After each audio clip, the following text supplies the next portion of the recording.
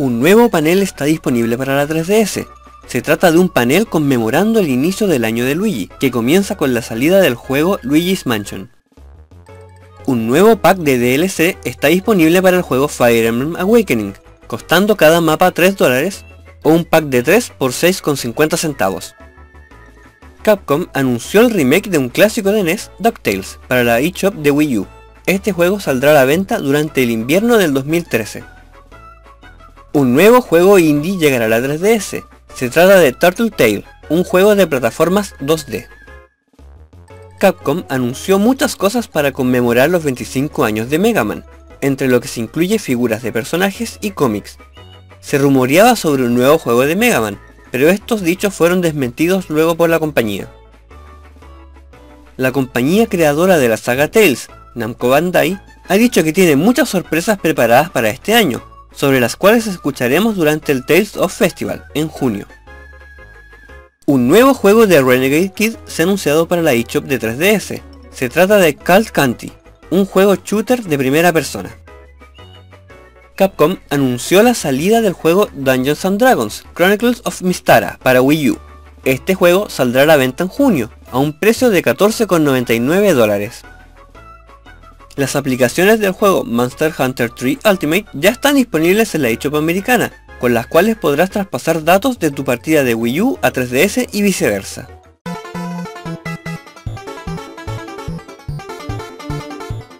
Square Enix anunció que llevará el juego Deus Ex Human Revolution Director's Cut a Wii U, el cual incluirá la opción de voces en español, subtítulos, off-screen play, soporte para Miiverse, entre otros.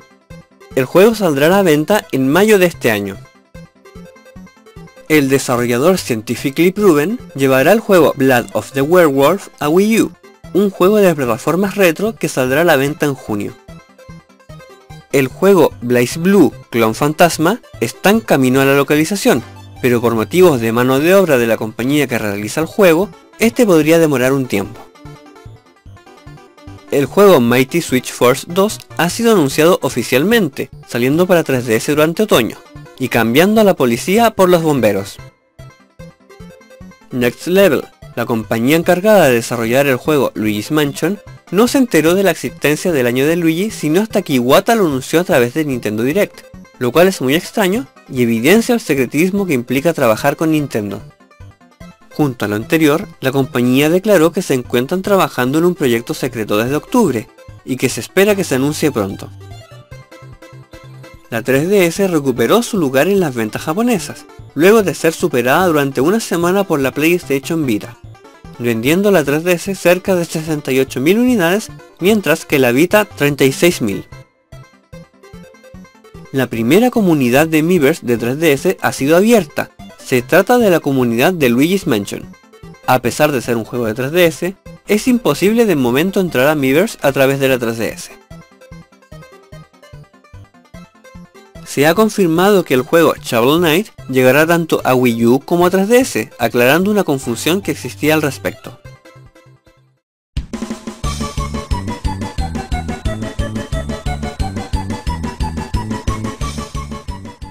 Este día sábado 30 de marzo se llevará a cabo la Gran Junta Nacional de Stripas 3DS Chile, con motivo del segundo aniversario del grupo, en el que tendremos muchos torneos, cosas random y sortearemos entre los inscritos el juego Monster Hunter 3 Ultimate de 3DS, así que no puedes faltar.